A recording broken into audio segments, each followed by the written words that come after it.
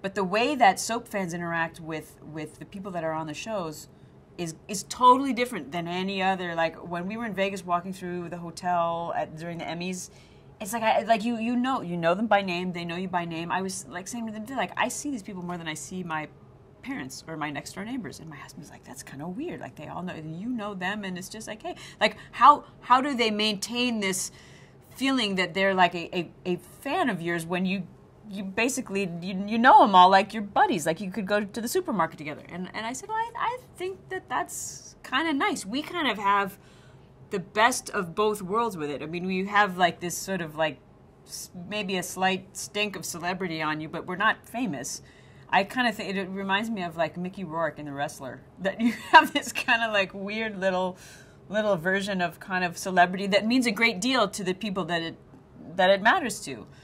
But it's not like we have to worry about getting mobbed by anyone or anyone's going to really interrupt our life or anything like that. It's just people that really like us like to come up and say, "You know what? I like what you did." And what could be nicer than that?